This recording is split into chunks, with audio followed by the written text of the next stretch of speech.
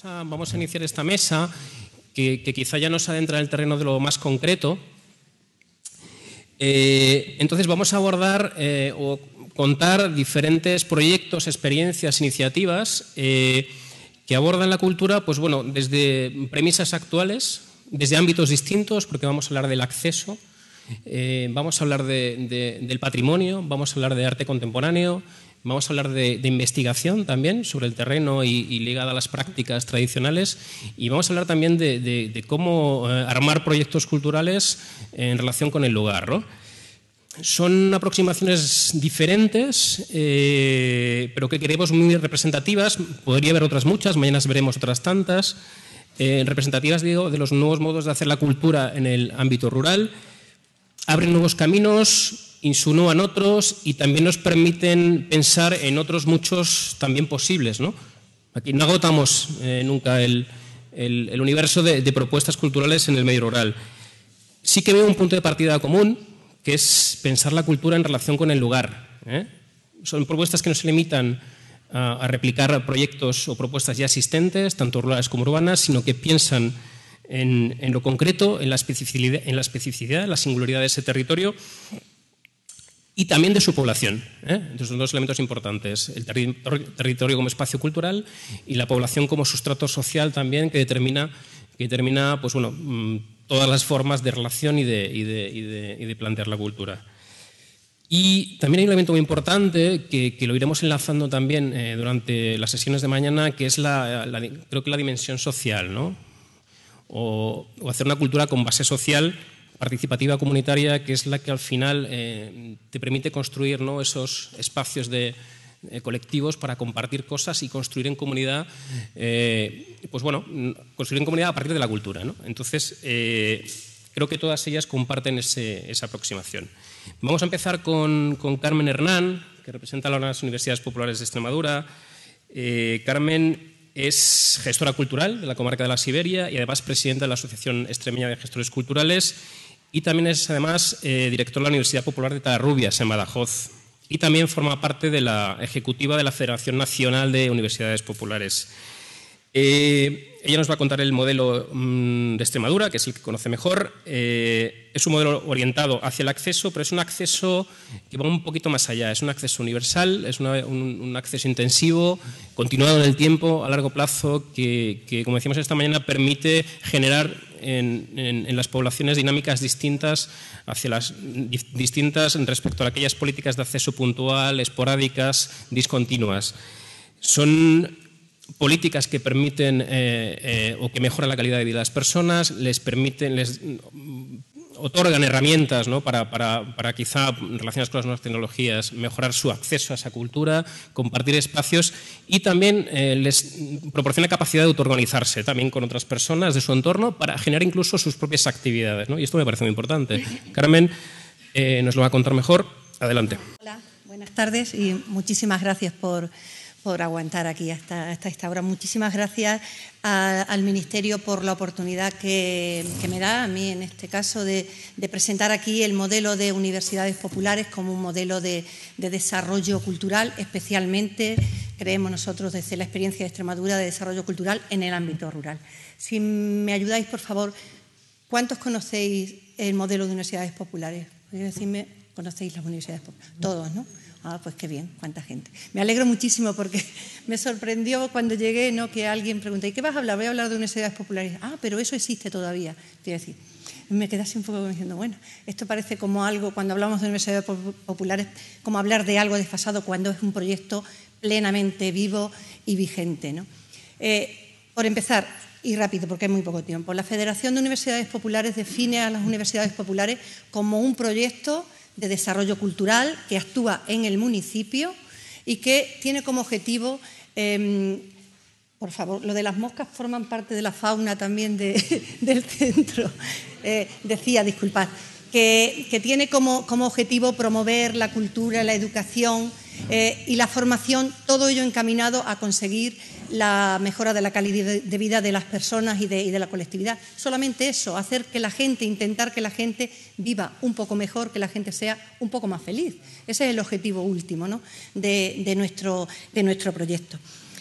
Mm, Muy ligeramente también las universidades populares nacen a finales del siglo XIX, em, a principios del siglo XX en España, tienen un cierto auge que va eh, creciendo hasta que con la llegada de la, dictadura franquista es un proyecto que queda totalmente arrinconado y, bueno, pierde, pierde, toda la referencia. Es a partir de, de, los años 90, fundamentalmente, cuando el proyecto resurge con fuerza y en Extremadura especialmente con una fuerza inusitada, quiere decir, una fuerza que no tiene parangón realmente ahora mismo en, el resto de, España. No todas las comunidades cuentan desafortunadamente con universidades populares, tienen otros modelos, pero yo creo y estoy convencida de que el de universidades populares es quizás el mejor o uno de los mejores modelos que, pueden existir en este, en este ámbito. Digo que en Extremadura actualmente, fijaos, hay más de 225 universidades populares muchísimas, que van en todos los municipios, desde municipios de 100 habitantes hasta Badajoz, que puede tener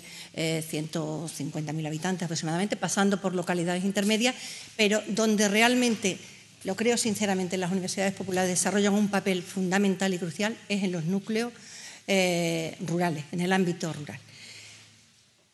¿Por qué? ¿Por qué el éxito de las universidades populares? ¿Qué es lo que creemos que nos hace diferentes de otros proyectos? Pues veréis, lo leo para que no se me olvide nada. Pues porque carecen de los corsés que, tiene la educación formal y asumen el principio de la educación permanente a lo largo de la vida.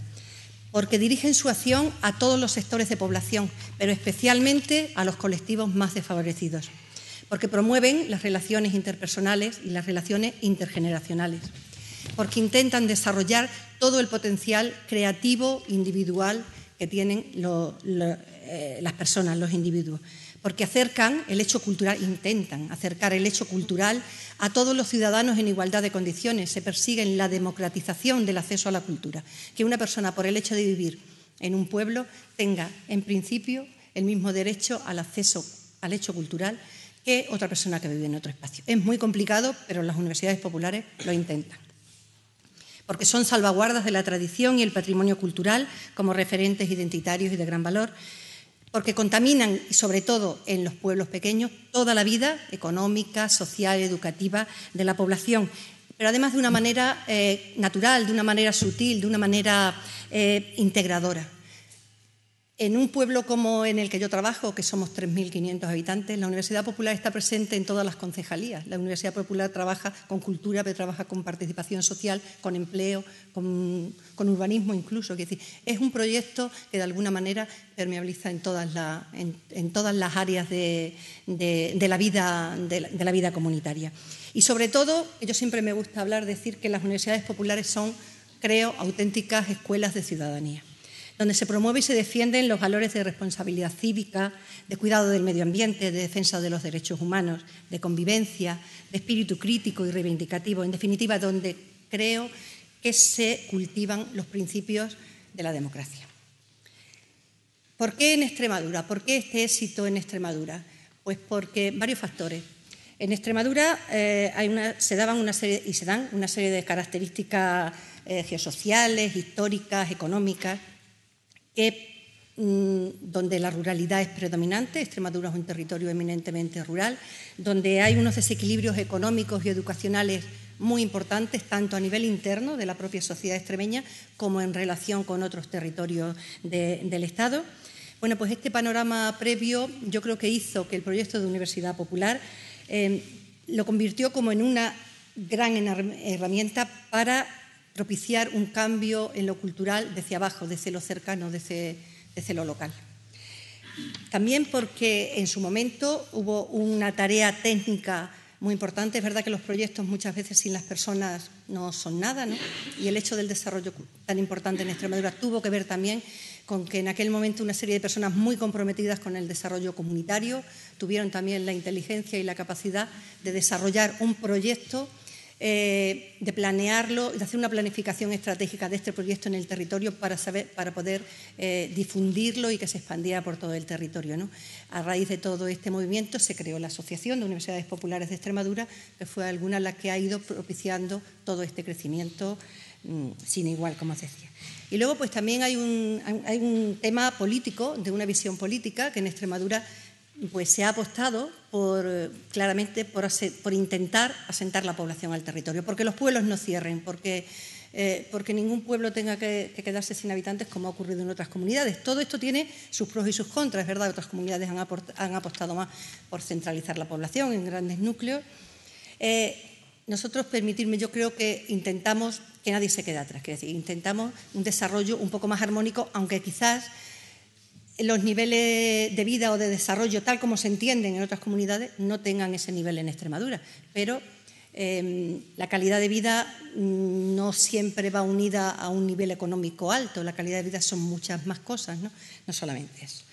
Em, como decía, ¿no? Eh, eh, la oportunidad de llevar en un pueblo una vida más, cercana a la naturaleza, más sencilla, más, natural, en fin, lleva evidentemente aparejada una serie de, de, circunstancias que muchas veces son también un reto, un desafío, pues porque los pueblos evidentemente están alejados normalmente de los núcleos de producción, de los núcleos de distribución, de, donde se genera, se distribuye y se lleva a cabo eh, el hecho cultural, ¿no? las actividades culturales.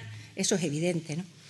Em, pero entendemos que la gente tiene otros motivos para vivir en los pueblos y que mucha gente quiere y desea vivir en los pueblos.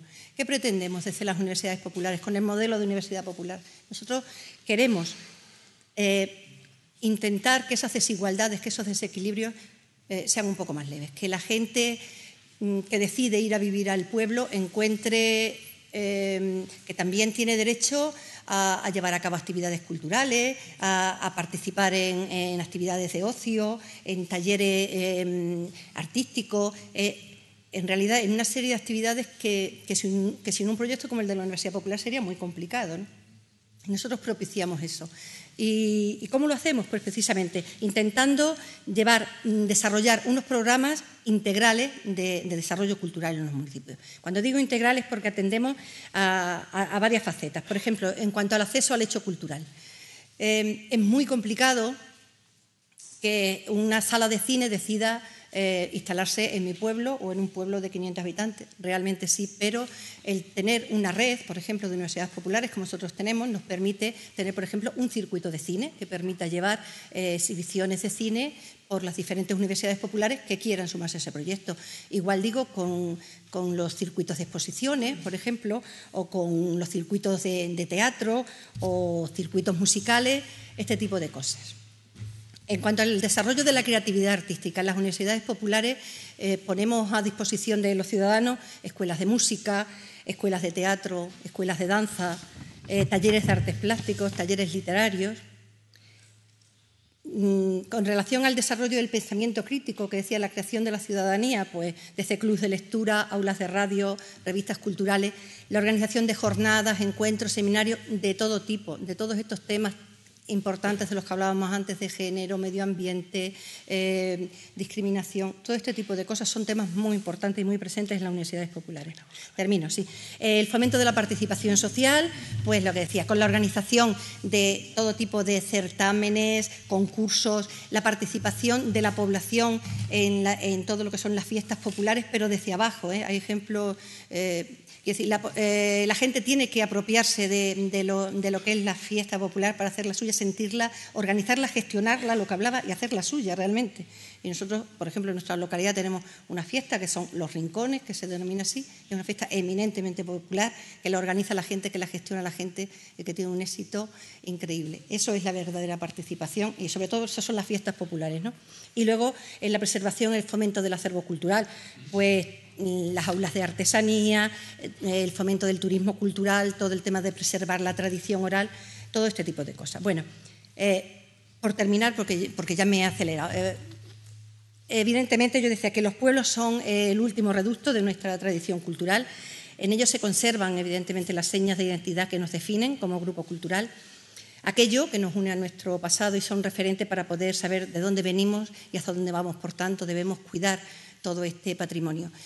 Y ya sí, ya sí que termino, solamente que dejar aquí eh, la experiencia de, las universidades populares de Extremadura, la experiencia personal como, eh, como directora o como gerente de una universidad popular en un núcleo rural, para quien esté interesado. Quiero decir, yo creo que es un modelo que se puede replicar en cualquier otra comunidad y animo a todas aquellas comunidades que todavía no tienen universidades populares a que se animen a que se acerquen, a que conozcan lo que son las universidades populares hoy, porque es que hay muchísimo más que hablar. Todo el tema de las nuevas tecnologías, cómo trabajamos el acceso a, eh, eliminando la brecha digital.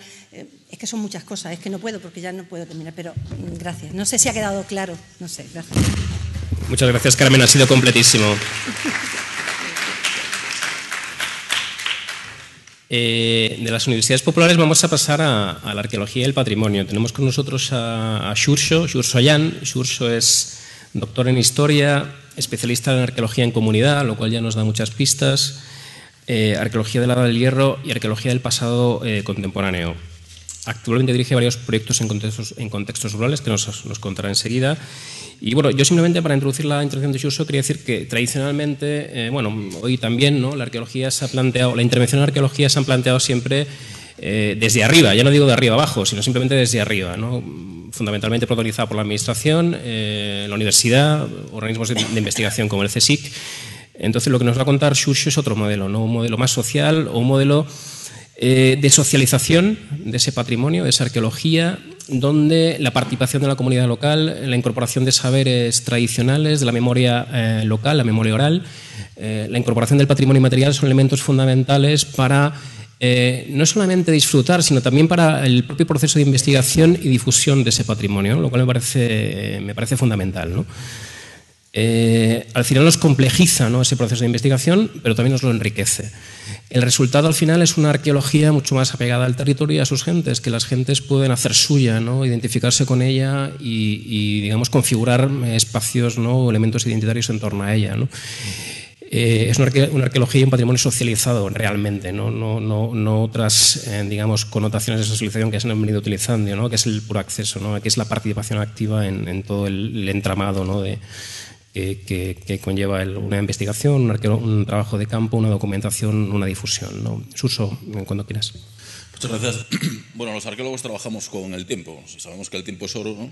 Entonces son siete minutos que intentaré maximizar. Bueno, a mí me ha encantado la intervención de María Sánchez, ¿no? que se ha definido como una veterinaria de campo.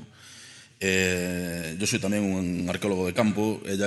los veterinarios son profesionales muy humanistas, de tanto tratar a los animales. Los animales a veces son más personas que las personas. ¿no? Y hay muchos veterinarios en el mundo rural y como estamos en streaming voy a saludar a mi cuñado, Víctor, que es, eh, veterinario, lleva 20 años en el Bierzo y lleva 20 años eh, denunciando atentados contra el patrimonio, recogiendo el patrimonio tangible del Bierzo. Y bueno, yo creo realmente en esa arqueología emocional y en ese patrimonio emocional. ¿no? Yo estoy aquí fundamentalmente porque Benito me invitó el año pasado, en octubre, a, también un foro parecido a este de Cultura y Ciudadanía. Y realmente en aquel foro, pues eh, la presentación que más me gustó fue la de Alfredo Puente, precisamente, el técnico de Cerezales. O sea, yo creo en el destino. es decir, este es el comienzo de una gran amistad porque yo vengo de un pueblo que se llama Cireixa, en el que estamos trabajando, es el pueblo de mi madre, al sur de Lugo. Y este viaje de Cireixa a Cerezales, como veréis, va a tener bastante continuidad en el tiempo. En Cereixa estamos desarrollando un proyecto de arqueología en comunidad.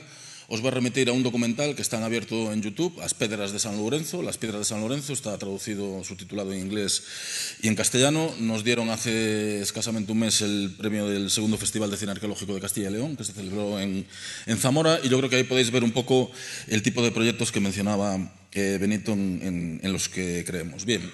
Hay un bestseller de Sergio del Molino, La España vacía. ¿no? Si asumimos la tesis de Sergio del Molino de que esa España está vacía, eh, lógicamente no hay gente. Entonces, si no hay gente, esos son paisajes arqueológicos. Por lo tanto, es muy pertinente que un arqueólogo como yo esté aquí para estudiar la España vacía. El problema eh, esto es algo que han utilizado todos los estados totalitarios, ¿no? Deportar a gente, desvincularla de su paisaje emocional es una herramienta magnífica. Eso lo hizo Stalin con los tártaros de Crimea y lo hizo Franco con las gentes de los valles de las montañas de León mandándolos a la tierra de campos. Hay una novela maravillosa de Julio Llamazares, Distintas formas de mirar al agua, en la que se explica perfectamente cómo ese campesinado es convertido en colono eh, deshaciéndose del paisaje en el que fueron aculturados. ¿no? El paisaje es literatura, fundamentalmente. Ahí estoy totalmente de acuerdo. Aquí tenemos a miembros de la Fundación Uxío Noboneira, que es nuestro bate de las Serras del Caurel, en, donde se siente lo poco que es un hombre, y en eso es donde, en lo que creemos. Pero claro, es que en la España vacía hay gente, ¿no? Entonces, eh, estamos delante de los últimos campesinos de Europa. Aquí alguien comentó, me pareció escuchar que, ya no había campesinos incluso. Pues sí, los hay. Y lo que caracteriza a los campesinos, y aquí hay catedráticas de antropología social, es eh, su resiliencia. Dice, son resistentes contra el Estado en todo tiempo y lugar. Esto lo dice desde Chayanov hasta antropólogos más anarquistas tipo Pierre Clastres. Por ejemplo, en Galicia tenemos la costumbre, desde la prehistoria reciente, de vivir donde nos sale de las pelotas, ¿no? esparecidos por el territorio. Ese hábitat disperso no es que estemos locos, es que es una estrategia magnífica contra el poder. O sea, el poder lo que intenta siempre es concentrar a la población, censarla y maximizar y explotarla. ¿no? Y el hábitat disperso es una estrategia magnífica que se ha inventado el campesinado del noroeste de la península ibérica para huir de, del poder. El poder en Galicia es la Junta. ¿no? Eh, la Junta, eh, Manuel Gago y yo, que es un profesor de Ciencias de la Comunicación, y voy muy rápido, consideramos que es el último monstruo de la tradición oral gallega. ¿no? Es decir, eh, yo tengo mi tío Suso, que es de Cereixa, dice que la Sunda metió la mano en los montes, ya no hay conejos. Metió la mano en, los ríos, ya no hay truchas. Y ahora mete la mano en los castros, ya no hay mouros. ¿no? Los mouros son los seres míticos en los cuales sigue creyendo la gente. Yo por la mañana ahora mismo estuve con el colegio de, la Pobra de Brollón y estaban todos preocupados los niños porque íbamos a excavar o burato dos mouros, que es una mina en la cual viven los mouros, y dijo, los vas a dejar sin casa, ¿no? a los mouros, ¿no?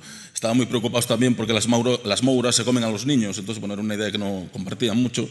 Pero esto es impresionante, que haya gente que sigue pensando en ese paisaje mítico.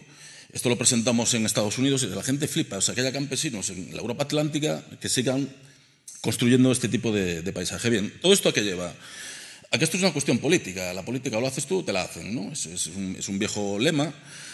Y aquí, claro, la conceptualización del campesinado, eh, por un lado, hay mucho paternalismo, se sigue considerando como buenos salvajes. ¿no? Martiño de Dumio era un húngaro que llegó a Galicia en el siglo VI y hizo la machada de convertir al rey suevo al catolicismo e introdujo el cristianismo. Bien, este hombre escribió un opúsculo que se titulaba De Correctione Rusticorum, esa gente pagana del pagus, esa gente que hay que civilizar.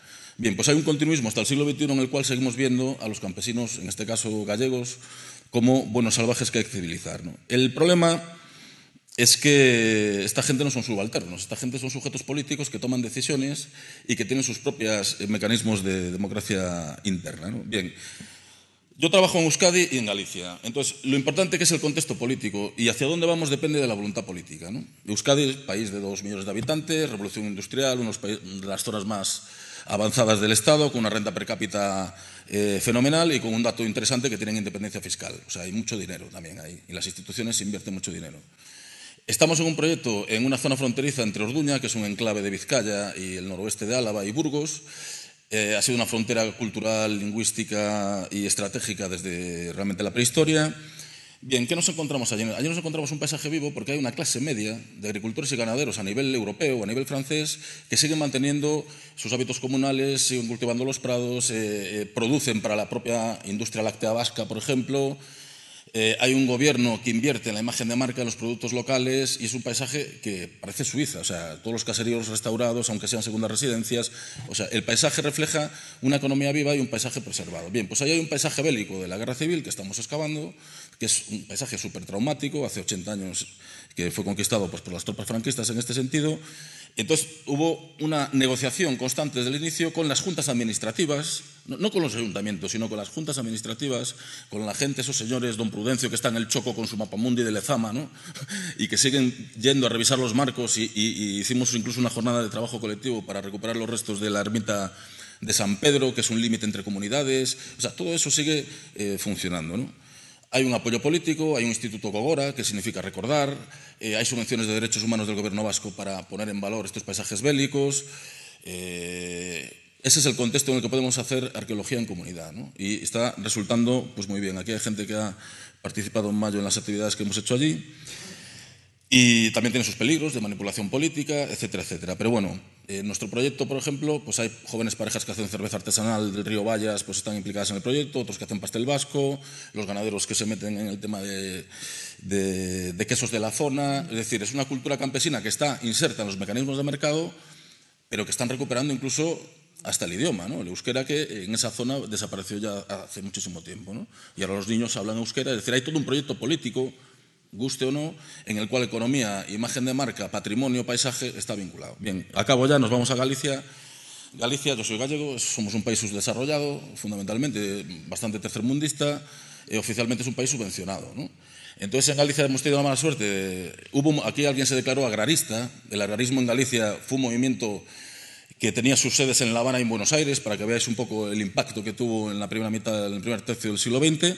La represión franquista fue eh, demoledora y eso ha producido en democracia pues, una serie de redes caciquiles que, bueno, estamos en una sociedad democrática, esto es lo que hay. ¿no? Eh, igual que en Corea del Norte hay dinastías, pues en la Diputación de Urense está la dinastía Baltárida que pasa el cargo de padre a hijo. Esta es la realidad que tenemos. Entonces, insertando en el contexto galaico las preguntas de esta mesa, dice, políticas de acceso e integración. En Galicia hay una estrategia consciente por parte de las administraciones para desmantelar el rural. Mi madre el otro día casi montó un motín porque iban a sacar a la monitora de gimnasia, o sea, las mujeres de la aldea se iban a quedar sin monitora de gimnasia porque tenía que ir a un pueblo a dos kilómetros. Eso es una tragedia, eh, evidentemente, en el rural eh, gallego. Eh, la Junta está muy empeñada, no quieren saber nada de memoria histórica, pero meten monitores de, talleres de memoria para estas señoras, ¿no? ¿qué, talleres de memoria ni qué hostias? Nosotros queremos gimnasia. o sea, las administraciones muchas veces pretenden que los campesinos que haya una plaga de Alzheimer y lo que necesitan son sujetos pasivos que juegan ahí pues eso, a las cartas y no se movilizan y no tienen opinión, etcétera, etcétera. Bien, pues están quitando autobuses escolares, están quitando médicos, están desmantelando, esa es la realidad. Otra cosa es la retórica de las administraciones. Entonces, no puedes acceder ni a Internet ni a Wi-Fi, pues mm, integrarse es bastante complicado. ¿Cómo actualizar prácticas y saberes eficaces y útiles? Esto es un problema. Eh, ver el mundo rural en términos economicistas de maximizar beneficios, minimizar costes. Esa es la política neoliberal que está llevando a eh, desmantelar el rural eh, por lo menos en, lo que es la Europa Atlántica. Perdón. claro que hay saberes eficaces. Por ejemplo, en Cereixa se ha recuperado la arquitectura vernácula, chancanto rodado, hay productores de miel eh, siguiendo bueno, todo el mecanismo eh, artesanal tradicional, se ha recuperado la microtoponimia, el paisaje. Es decir, eso es útil y eficaz porque la gente se siente viva y ve con esperanza al futuro. Patrimonio material e inmaterial, como os digo. O sea, sigue vigente todo ese paisaje simbólico, ocupado por seres míticos, por un pasado a veces traumático. Esta fue una zona que apoyó muchísimo a la guerrilla antifranquista, por ejemplo. Eh, y hay un fuerte sentido del lugar. Tenemos que ver que la parroquia gallega, que es el elemento identitario por excelencia en Galicia, el Estado liberal no ha podido acabar con él en 200 años. O sea, la gente se sigue definiendo por su parroquia, ¿no? que es un conjunto de aldeas bajo una iglesia, etcétera, etcétera. ¿no? Y el sentido del lugar es, eh, es tan importante que, que es también una estrategia de construcción del paisaje y de resistencia. Y de la gestión del mundo rural pues podemos hablar un poco más tarde. Tenemos dos modelos. En Euskadi hay una voluntad política de hacer las cosas de una determinada manera y en Galicia son los propios campesinos eh, los que ahora están reivindicándose como sujetos que quieren gestionar sus bienes. De esto también hablará alguien más. Entonces, bueno, mm, ¿hacia dónde vamos? Eso me pregunté yo un par de rotondas cuando venía para aquí. Y, todos los que tenemos algo de experiencia en gestión de proyectos, al final no sabes para dónde tiras, pero tú tiras para adelante y al final las cosas salen eh, razonablemente bien. Yo creo que el, campesinado no necesita sermones. Eh, por Cereixa pasaron primero las misiones de la República, después llegaron maristas, escolapios, jesuitas, ahí están en la iglesia todos los 50, 51, 52. Después llegaron los técnicos de la extensión agraria en los 60 a explicarle a los campesinos cómo tenían que cultivar, cómo tenían que hacer su trabajo. Llegó la democracia y los técnicos de desarrollo local, arqueólogos y tal, pues estamos en lo mismo. Hay una pintada cerca de Cereisa que pone, vamos a comer turismo. La gente ya no se cree en nuestros discursos muchas veces y, la moto que intentamos vender. O sea, la gente no es tonta. Por eso se oponen a que se declaren espacios naturales o esas cosas que se comentaba de los picos de Europa o que se opongan a que la Ribera Sacra sea patrimonio de la humanidad. O sea, la gente no, no es tonta en este sentido.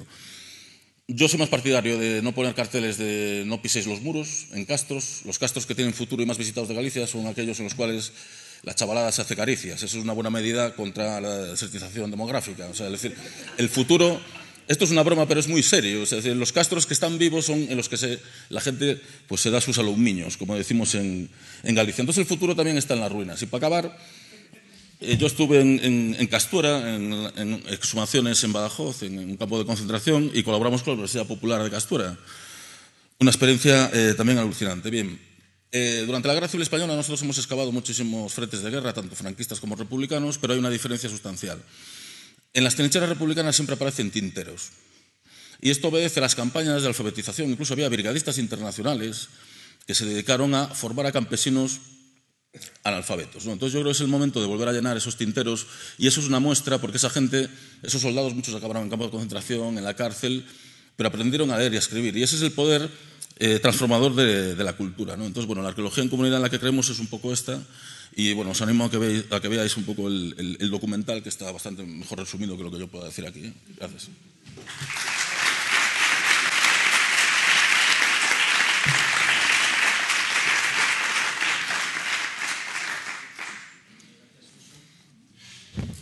Muchas gracias, Urso. La verdad que nos has dejado, vamos, eh, eh, alucinados ¿no? con, la batería de, ideas que nos has, que nos has eh, lanzado. ¿no?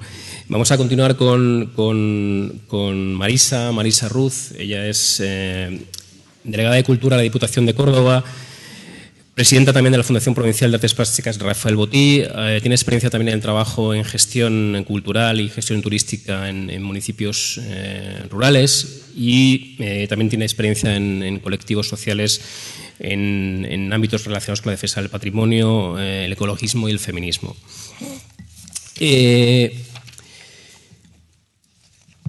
Marisa nos va a hablar, bueno, ellos tienen en la Diputación de Córdoba varios proyectos, hay uno especialmente significativo que es Periféricos, que es un proyecto de, arte contemporáneo en diferentes municipios del, entorno rural cordobés, que además estuvo seleccionado, ¿no? lo cual demuestra su excelencia y el éxito que ha tenido. Estuvo seleccionado en la última edición de Arco pero bueno, ellos tienen más, tienen más cosas que, contarnos. ¿eh? Eh, a mí también, bueno, creo que el, proyecto de periféricos también es paradigmático en ese sentido, ¿no? de cómo el arte contemporáneo a veces es un arte complicado ¿no? para determinadas poblaciones, o es, lo que, es por lo menos el prejuicio ¿no? que, al que, recurrimos, pues se ha demostrado también recurriendo a metodologías y procesos eh, participativos ¿no? de colaboración con la, entre artistas y población local, se han demostrado proyectos exitosos, ¿no? proyectos a imitar, incluso que, viajan del, propio ámbito rural hacia entornos urbanos. ¿no? Porque, porque bueno, pues las metodologías al final se pueden replicar, las metodologías que se pueden replicar en diferentes escalas. ¿no? Eh, y nada más, yo en principio le, nuevamente le cedo la palabra a Marisa, a la que también eh, conocemos de, otros, de, mm, otras colaboraciones y, creo que, ella os, va a contar, eh, digamos, cosas interesantísimas también en torno al trabajo de una diputación, de una administración pública. ¿no? Creo, que ese trabajo también es importante que, lo, que lo presentemos aquí. Bueno, no ¿se oye bien? Este, bueno, eh, muchísimas gracias a la organización, desde luego al Ministerio, a la Fundación por, acogernos, por darnos esta oportunidad, este encuentro, este foro, ¿no? donde nos ponemos cara y aprendemos de, experiencias hasta eh, de primera mano. Bueno, eh, yo vengo de la Delegación de Cultura de la Diputación de Córdoba. en este caso es la primera política, a lo mejor, que, que se sienta esta tarde. Bueno, la segunda ¿no? la tercera, eh, a, contar una experiencia más concreta. Eh, pero la realidad de la provincia de Córdoba en lo rural es muy diferente a los ejemplos que, hemos ido conociendo esta tarde aquí. Estamos hablando de una provincia que tiene más de 15.000 eh, kilómetros cuadrados, que tiene una población en torno a 800.000 habitantes. la mitad, casi la mitad de ellos, están en, en Córdoba capital y el resto está repartido en 75 municipios, de los cuales 6 son mayores de 20.000 habitantes. Por tanto, la diferencia es notable, eh, solo en esa agrupación y en la densidad de población eh, a la que tenemos que responder desde mm, la estrategia política, de la política, y, hablaba este, este este, esta mesa de la política como mm, también el acceso a la cultura, ¿no? desde, esta estrategia cultural. Y nosotros nos hemos planteado, solo llevamos dos años de, mandato, no en lo personal no puedo hablar de otra experiencia previa, pero sí como la defensa de, la cultura como un derecho ciudadano. Yo creo que ese es el principio fundamental que teníamos claro. Y luego sobre tres premisas, que serían territorio, participación y eh, creación cultura contemporánea. ¿no? Son, son tres, tres, hitos sobre los que basamos diferentes estrategias, tanto de la Delegación de Cultura previamente dicha como de la Fundación de Artes Plásticas Rafael Botí, que, como su nombre indica, pues eh, sobre todo interviene en proyectos de, artes plásticas, pero de cultura contemporánea eh, en los municipios. En cuanto al territorio, eh, hablamos de ese derecho a la cultura, algo que se ha hablado aquí mucho esta tarde, pues se viva en el municipio que se viva, teniendo la cantidad de, habitantes que se tenga. Y en ese sentido, la intervención en el territorio, procurando no solo responder a, a las demandas o a la cultura tradicional, tradicional o más conservacionista que se da en los pueblos, sino también pues llevando propuestas que de otra manera no llegarían a un pueblo, ¿no? Eh, desde conciertos que tienen determinada envergadura, la propia orquesta de Córdoba, ¿no? que, habitualmente pues, no sale ni, del propio eh, Gran Teatro de Córdoba, pues la estamos llevando a municipios incluso de 3.000, 4.000 habitantes. ¿no? Bueno, es una experiencia. Llevar espacios de encuentro de poetas, bueno, hay hay gente de Córdoba aquí y sabes que estamos haciendo un, proyecto de montaña mágica que donde invitamos a poetas de, la provincia y algunos de fuera a debatir sobre temas eh, actuales de cultura contemporánea eh, partiendo de su propia obra. No, se trata de que la, Diputación vaya a vender libros, ¿no? Eh, vamos a reflexionar sobre nuestro mundo en espacios, en, pueblos de la provincia, algunos muy pequeñitos, de mil, dos mil habitantes, donde, y, no nos, y algo muy importante, no entramos en espacios tradicionalmente eh, utilizados para este tipo de encuentros, sino que los sacamos a la calle y buscamos espacios públicos, espacios comunes o espacios mm, patrimoniales que tienen alguna... Eh, pues, mayor representatividad en el municipio para procurar ese encuentro y que la gente participe y no se, encuentre, no se, bueno, no, se encuentre ajena ¿no? a, a, la biblioteca a lo mejor donde nunca ha entrado o a un espacio cultural donde nunca no tiene ese hábito de entrar. Eh, también apoyando a, la cátedra intergeneracional que tenemos allí. Eh, que, llega a, los municipios y llevando proyectos novedosos como el circo contemporáneo a pueblos de la provincia, pueblos muy pequeñitos que de otra manera no sabría que ese, eh, ese circo contemporáneo pues se está haciendo ahora mismo, que es una nueva expresión de arte escénica y bueno, y lo estamos introduciendo eh, en los municipios, quizás de una manera eh, probablemente no sí más intervencionista en ese sentido, con la idea de que todo llegue al municipio. Pero eh, también, mm, quiero decir, esa sería la, primera pata, la del territorio, la de intentar abarcar el territorio, y la segunda que comentaba antes, la de la participación.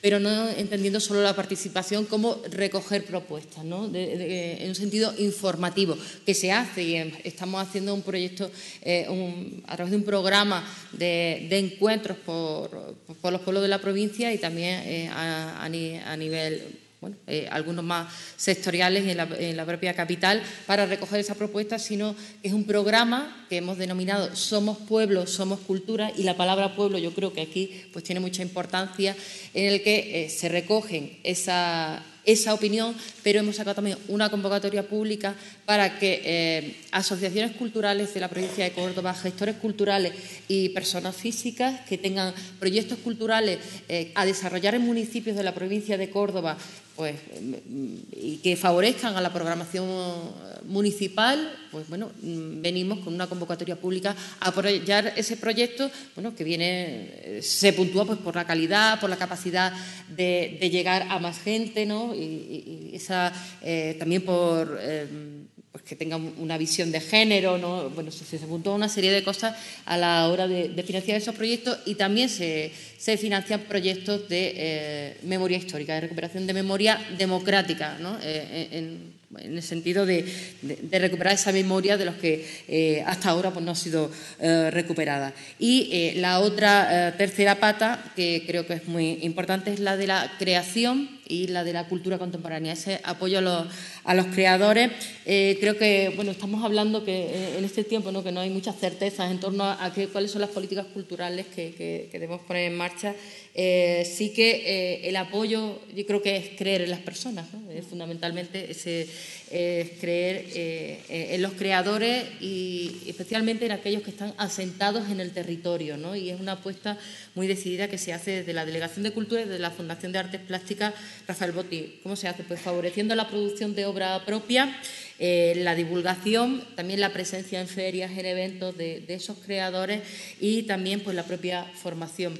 Eh, hay aquí algún proyecto FAR, eh, eh, es uno del Foro de Arte Relacional, es uno de los proyectos que sale desde abajo y que a través de una convocatoria pública se, apoya por parte de, la Delegación de Cultura. Y también, bueno, otro proyecto no ligado ya a las artes plásticas, pero sí a certámenes que favorecen pues la creación o a los grupos de música emergentes, ¿no? pues para evitar que haya un vacío en la escena musical en el territorio cordobés, pues eh, creamos un, certamen de, música que llamamos preventiva para prevenir ese vacío en la escena musical en la provincia, darle una oportunidad a la banda emergente, no jóvenes, sino emergentes, gente que no ha tenido oportunidad de grabar un disco, bueno, pues se eh, montamos un circuito luego en el que pueden participar, incluso se les lleva a un festival dentro del circuito eh, musical. Y el programa que tú hablabas antes, ¿no? Periféricos, que es una de las apuestas de, apoyo a la creación en torno al arte contemporáneo que surge desde abajo que surge en pueblos de, han surgido en ocho pueblos de, la provincia de Córdoba, que surgen de la mano de creadores, de gestores culturales en colaboración con los ayuntamientos, con ocho ayuntamientos de la provincia. Y en este caso, ¿qué hace la, Diputación de Córdoba, la Delegación de Cultura? Pues sirve de paraguas financia y establece una serie de criterios que tienen que ver con la calidad, con la, eh, pues, eh, esos criterios de contemporaneidad, de vanguardia, ¿no? para eh, establecer unos mínimos y también favorece a la proyección y a la divulgación. De tal manera que esos ocho proyectos, que también se ha hablado de uno aquí, de Escarpia, que, surgieron hace muchos años, eh, esta eh, demencia, Escarpia, que era más de intervención también de arte urbano, eh, al sur, La Victoria, que es un pueblo donde además la gente participa de una manera muy activa porque de alguna mm, acoge a los artistas, le, da hospedaje en su propia casa, la gente del pueblo participa en todas esas actividades, bueno, y vienen artistas de, a nivel nacional e internacional, ¿no? y además sur se ha celebrado hace un par de semanas pues, con un éxito tremendo. Eh, como decía, también eh, el, vuelo de, eh, el vuelo de por ejemplo, un ejemplo de arte contemporáneo en un pueblo de la provincia de Córdoba en relación con el patrimonio arqueológico. Era un pueblo, Almedinilla, muy pequeñito, que es un pueblo muy pequeñito, no sé si tendrá 2.000 habitantes, no sé, Luis, que está por ahí muy pequeñito, ¿no? Unos 2.000 habitantes o algo así. Sí, sí. Y, y, apenas era conocido. Mil habitantes no es tan pequeñito.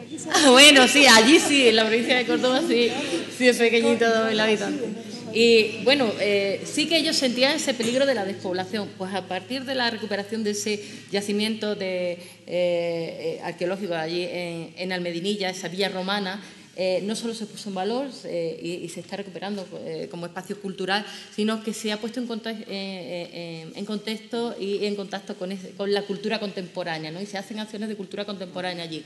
Pues igual, nosotros subvencionamos y apoyamos, y, quiero decir, no hay más injerencia, sino que establecer esa, ese, esos límites de, entre la calidad, la contemporaneidad y la vanguardia. Hay muchas debilidades ¿no? en la provincia en torno a, la cultura. Por un lado, sería eh, entenderlo, eh, en muchas ocasiones, entender lo cultural, eh, a veces, y creo que de eso también se ha hablado aquí, ¿no? solo con lo tradicional. ¿no? Y lo cultural es también lo que se está creando ahora mismo. La cultura popular es también la que crea, se crea ahora mismo. ¿no? Y los gestores culturales y los creadores culturales asentados en el territorio están creando cultura en su territorio y es su cultura popular, es la de ellos y, la de las futuras generaciones. Y eso, mm, no olvidemos que eso también es cultura popular, ¿no? Y creo que es importante. La escasa consideración que se tiene al patrimonio cultural como motor de desarrollo. Nosotros hemos puesto en marcha una eh, convocatoria de restauración del patrimonio eh, eh, que, está en situación de emergencia, el patrimonio municipal que esté catalogado o protegido, ¿no? pero que esté en una situación de emergencia. Eh, creo que somos la única diputación andaluza eh, que, hemos eh, sacado una convocatoria para restauración del patrimonio, la propia Junta de Andalucía. Y es verdad que incluso, bueno, pues llegan otros cargos públicos o otros compañeros y dicen, mira, se está viendo la, recuperación de, de, un castillo, ¿no? Por ejemplo, y dicen, mira, esto va a ser estupendo para el turismo, ¿no? Bueno, ¿cómo va a ser estupendo? Aquí hay ahora mismo 15 personas trabajando, hay un arqueólogo o dos arqueólogos y hay un arquitecto. Esto ya es bueno ahora mismo, esto no hay que esperar a que venga el turismo, esto es bueno ahora mismo y está generando empleo. Y gente muy cualificada, que es un arquitecto, que es un arqueólogo y que es gente de tu pueblo, también otros sin cualificar, están trabajando aquí en tu patrimonio. Por tanto, hay que ligar la cultura al desarrollo y yo creo que eh, hay eh, un exceso de ligarlo eh, constantemente al tema del turismo Y luego tenemos retos, ¿no? Y, los retos precisamente es el de, el de, utilizar la cultura contemporánea también como un reclamo a, ese asentamiento en el territorio y otro reto muy importante, que no para llevar la cultura a los pueblos y no para potenciar la cultura de los colectivos, los pueblos hacen falta grandes equipamientos que sí son necesarios, son necesarios, pero que la cultura se puede dar en espacios comunes, en espacios que se pueden rehabilitar a veces con menos dinero y que la cogestión y que la colaboración entre los diferentes agentes, entre los colectivos de abajo y las instituciones, yo creo que en, el diálogo ese que, es el reto, el gran reto del futuro, pues ahí es donde nos debemos situar todas y todos los que somos de pueblo y no queremos abandonar los pueblos.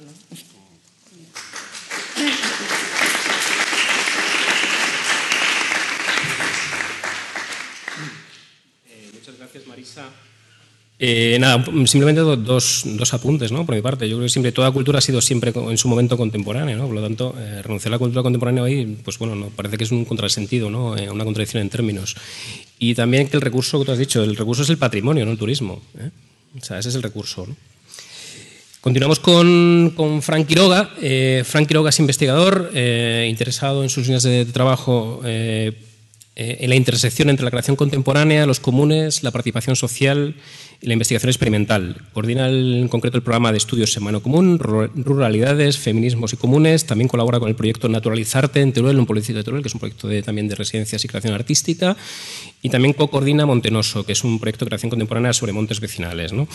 Eh, yo creo que la aportación de Fran, eh, que digamos que, justifica su presencia en esa mesa, es, es cómo a partir de la investigación y del trabajo de campo, eh, se pueden desarrollar modelos culturales, mm, si no novedosos, innovadores en este tiempo, a partir de prácticas, conocimientos, figuras que pertenecen a la cultura tradicional, actualizadas hasta donde fuere necesario. ¿eh? En concreto, su programa de estudios en mano común pues, toma, eh, bueno, que es el, recurre al concepto de los comunes, que hoy está muy en boga, pero bueno, estamos hablando de la figura del derecho romano, que después se pasa al derecho germánico también, y que determinadas culturas tradicionales o populares eh, utilizan también para gestionar y usar determinados bienes que son de todos. ¿no?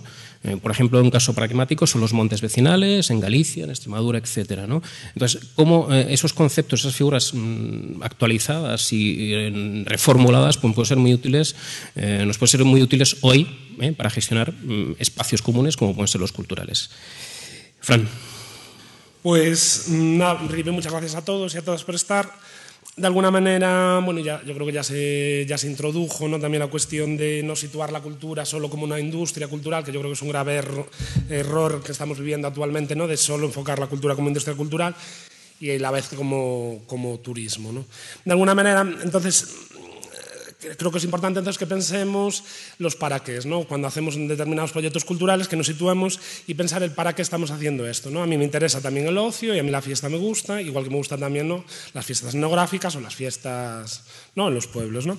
Pero de alguna manera también la importancia, y por ejemplo en mi caso, ¿no? la importancia que tiene también la cultura, es de alguna manera esa necesidad también de, bueno, pues de reconfigurar o de construir también ciertos discursos que venimos, que tenemos aprendidos y de alguna manera parecen que son actos de fe y que es necesario también que, eh, que estemos constantemente ¿no?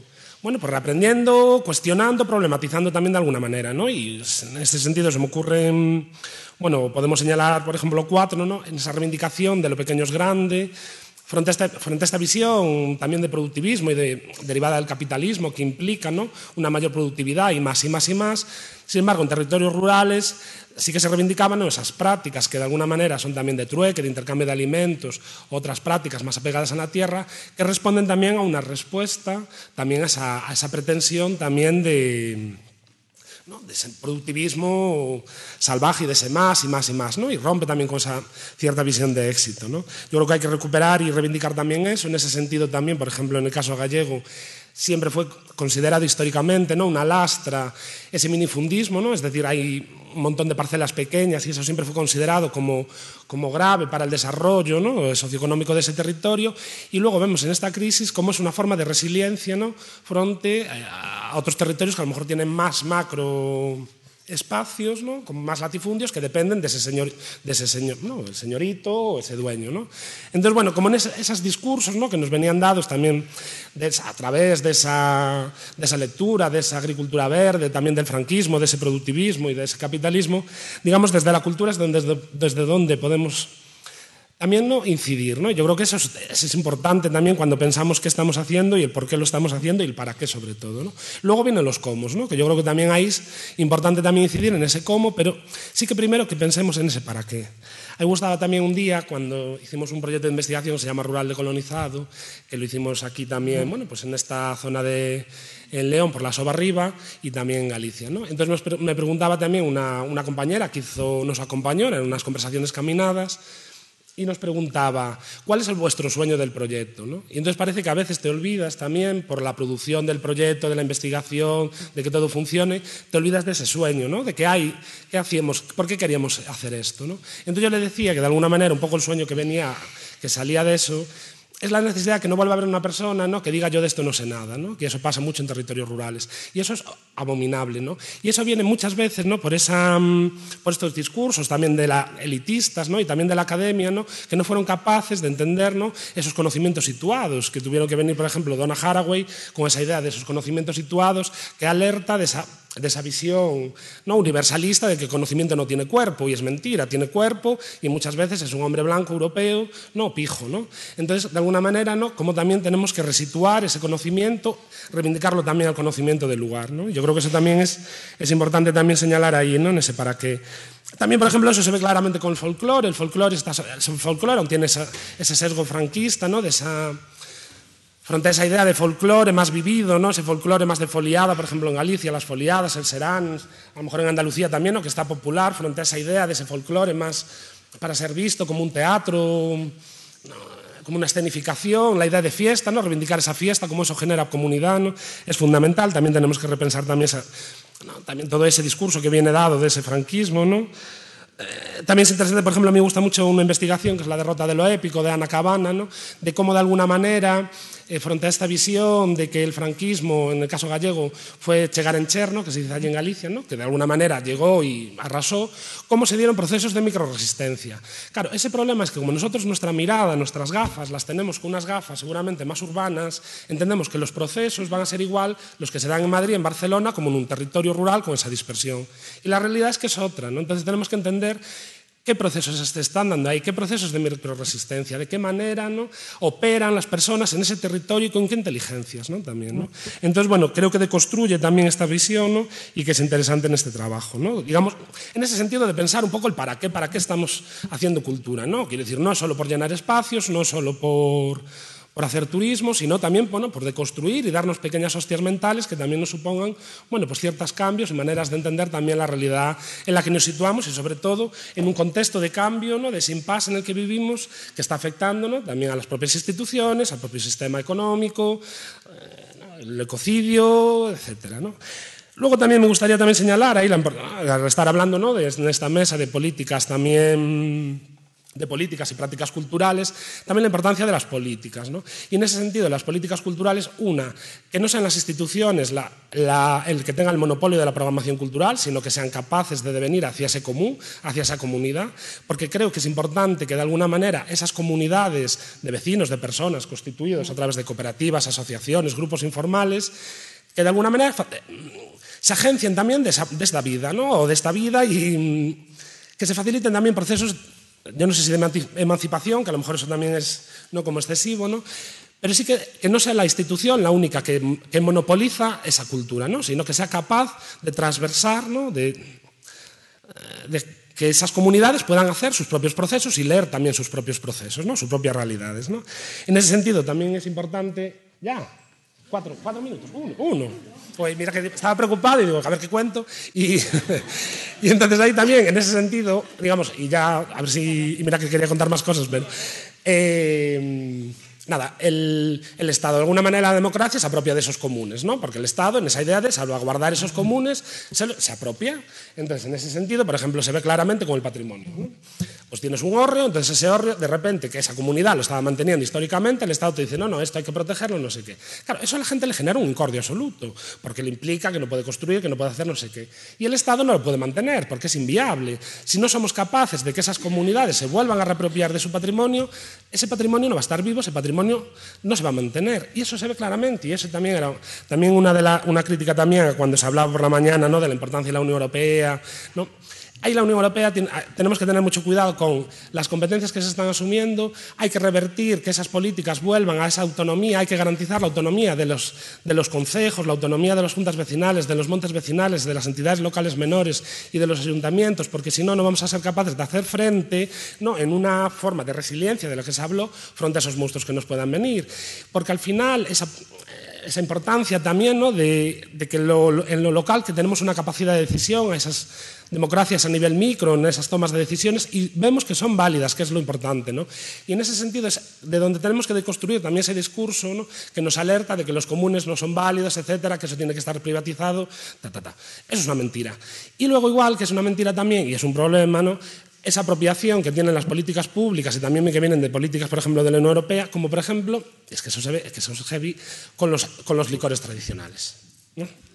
Es que no, es que eso, o sea, es que es de traca, porque vamos a ver, esa comunidad hace su licor tradicional, de su forma, ¿no? Pues el licor café que lo hace de una manera, ta, ta, ta, ta, ta, ta. El otro lo hace de otra manera. Viene el Estado y dice, no, no, por este discurso hiperhigienista, que simplemente lo que hace es generar una barrera de entrada para ese pequeño productor, para que solo el grande pueda tener acceso a eso, privatiza, ¿no? se apropia de todo ese conocimiento, de ese know-how, que es un know-how comunal, y le dice, no, no, tú no puedes hacer ese licor que lo lleva haciendo tu padre, tu abuelo, tu madre y tu tía y tu abuela. Es como, bueno, es que esto es de track. Y luego lo tienes que comprar o encima, o sea, que ya no es que lo puedes hacer, que tienes que comprar y encima adulterado y que es una mierda absoluta. ¿no?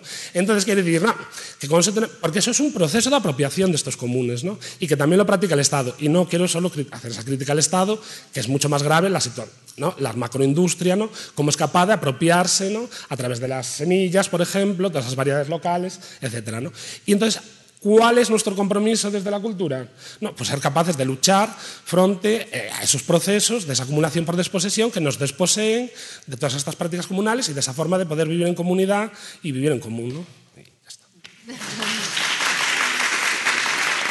Nuevos proyectos culturales, porque mm, a veces es una labor creativa generar un proyecto cultural, entonces, y generar identidad en torno a ella es complicadísimo. Y en definitiva, cómo construir tejido social ¿no? a partir de ese elemento o nuevo elemento identitario que es un proyecto mm, cultural que nace y donde bueno, pues la población local se reúne en torno a ese proyecto, lo hace suyo y lo convierte en tejido social. ¿no? Y, y, esto nos va a contar, nos va a contar eh, Lucas. Buenas tardes. Sí, ahora sí. Buenas tardes. Bueno, en primer lugar, pues empezaré como, como todos, dando las gracias eh, tanto a la Fundación como a, al equipo del Ministerio de la Secretaría de Estado de Cultura eh, por, por, invitarme. Realmente yo creo que es la primera vez que alguien me invita a contar eh, a qué me dedico y qué opino sobre algo. ¿no? Entonces, pues realmente es un, es un, honor estar aquí rodeado de gente que sabe tanto y que, y que realmente controla tanto. Bueno, yo, como bien decías, pues yo os vengo a contar un poco a qué me dedico. Pero antes eh, de hablar de Imaginaria y de cómo se gesta ese proyecto, quería pues, contaros cómo se gesta el primer proyecto cultural eh, que nace antes que Imaginaria, que es Territorio. ¿no? Territorio nace en el año 2011. Eh, bueno, yo principalmente, además de todo lo que has dicho que soy, soy de pueblo, soy de Binefar. Y eso me ha marcado mucho, ¿no? Me ha marcado mucho porque ha hecho que realmente piense durante mucho tiempo en qué es la cultura y qué es la cultura en el medio rural. A mi modo de ver, trabajamos en un, tipo muy determinado de cultura. No trabajamos en, todas las culturas. ¿no? La cultura, eh, según la entendía Jesús Mosterín, o la entiende yo creo, pues es, eh, toda la base de información de transmisión humana. ¿no? Digamos que hay dos tipos de, de manera de transmitir, según él, la información. Hay una vía genética y una vía cultural. Entonces, cultural es todo lo que somos capaces de transmitir de un humano a otro. Si entendemos esto, entendemos que trabajamos en un tipo muy determinado de cultura, en lo que se venía entendiendo como la alta cultura, eh, pero que también, como aquí se ha expuesto ya eh, varias veces, la cultura campesina o la, cultura que no estaba en los libros es también otro tipo de cultura, ¿no? un tipo de cultura a respetar y de la que yo provengo, y eso ha hecho que de alguna manera también me interesara mucho eh, pues, conocerla, respetarla pero al mismo tiempo acercarme, porque a través de mis estudios así, así lo había hecho, pues a otro tipo de cultura. Cuando empecé a pensar en la idea de, crear territorio, empecé a investigar un poco qué se había hecho, ¿no? qué, se había, bueno, qué había por ahí. ¿no? Y entonces me encontré, he traído dos citas nada más que, que, fueron muy importantes para mí. Y es que en el año 1994, o sea, hace ya más de 20 años, hubo un encuentro del programa LIDER en la comarca del Maestrazgo, en Molinos, en la localidad de Molinos, un pueblecito muy pequeño del Maestrazgo, de donde viene mi familia, eh, en la que se hablaba de los programas LIDER y eh, en concreto hubo unas jornadas, pues, como digo, muy similares a estas, en las que se hablaba del papel de la cultura como, en, eh, digamos, en favor del desarrollo local. ¿no? Entonces, en esas, en, esas, en esas jornadas participó Bernard Kaiser, que es, en aquel momento era presidente de la Universidad Rural Europea y profesor de la Universidad de Toulouse. Pude acceder a su ponencia y ahí decía algo muy interesante que os voy a leer así muy, muy brevemente. Dice, hoy en día eh, la era de la uniformización impuesta en nombre de la igualdad y que produjo sus frutos ya se ha terminado. Ahora hay que mantener o volver a encontrar la diversidad, que es toda una riqueza. Entonces yo creo que cuando pensamos en el mundo rural, eh, pues pasa un poco como cuando hablamos de África, ¿no? Hablamos de, de un todo homogéneo que no lo es. ¿no? Eh, los pueblos son muy distintos, cada uno, uno de otro. Los valles son distintos en el Pirineo, incluso se hablan lenguas eh, distintas en el Pirineo, en valles que están pues, en línea recta, pues, a lo mejor en 15 o 20 kilómetros. Lenguas que evidentemente se parecen mucho, pero que son muy diferentes. Eh, pues que son otras lenguas, ¿no? digamos. Esto yo creo que es muy importante y también marcó de alguna manera el, inicio de territorio y su nombre, ¿no? porque dijimos, bueno, nosotros lo primero que tenemos que hacer es entender dónde vamos a trabajar, entender eh, con quién vamos a trabajar y, para quién. ¿no? Y ahí viene la segunda cita que os traía, que es de Hélène Cetolo, que ella hizo un, estudio de cuatro proyectos eh, que se desarrollaban en la zona rural del sur de Francia y eh, en este estudio ella decía lo siguiente. La acción cultural se revela ligada a las características de los contextos locales, a las oportunidades y coincidencias, a iniciativas institucionales, el gusto de determinados agentes concretos, la presencia de artistas en el, territorio rural, el azar, en definitiva, marca muchas veces eh, eh, el desarrollo de proyectos culturales. Esto, en nuestro caso, realmente se hizo muy patente con la creación de Imaginaria. ¿no? ¿Cómo nace Imaginaria? Eh, bueno, Imaginaria es, como bien decías, un festival de títeres de imagen en movimiento que se desarrolla cada año, terminó el domingo en Binefar, eh, la primera semana completa de junio. ¿Cómo nace Imaginaria? Imaginaria nace eh, a raíz de que nosotros vemos que la Secretaría de Estado de Cultura y la Subsecretaría de Cooperación con las Comunidades Autónomas, no sé si lo he dicho bien, lanzó unas ayudas para promover proyectos culturales en el medio rural. Entonces dije, ostras, pues esto nos encajamos, ¿no? Binefar tiene 8.000 habitantes, que es un pueblo grande ya, bueno, 8.000, no, casi 9.000. es un pueblo grande, pero que no tenía ningún referente cultural más allá de una compañía de teatro que muchos aquí probablemente conozcáis, que son los titiriteros de Binefar. Eh, yo en un principio no pensé en ellos para, para desarrollar este proyecto, la verdad. Yo llegué al ayuntamiento tuve una reunión con el concejal y le dije, oye, mira, yo creo que hay dinero para poder hacer un festival en Binefar. ¿no? Si hacemos, armamos un buen proyecto, podemos conseguir eh, pues levantar financiación como para hacer un festival en Binefar. Y el concejal de aquel momento pues tuvo la, buena idea ¿no? de decirme, pues bueno, vamos a intentarlo, pero lo vamos a intentar con los titiriteros, ¿no? que para eso están aquí, llevan 30 años trabajando, tenemos un premio nacional en el pueblo, la gente los quiere un montón eh, y nunca hemos hecho nada prácticamente pues, eh, para reivindicar su, o para que ellos puedan traer al pueblo más bien eh, eh, todo el conocimiento que han podido adquirir durante estos años. Bueno, yo tuve una primera reunión con ellos, yo no los conocía, realmente, no, tenía contacto con ellos, tuvimos una reunión, enseguida nos pusimos de acuerdo y ellos asumían una parte fundamental de la dirección artística y nosotros toda la parte de gestión. Eso significa que ellos nos dieron una hoja eh, con una serie de artistas y nosotros armamos un proyecto que se presentó y consiguió financiación.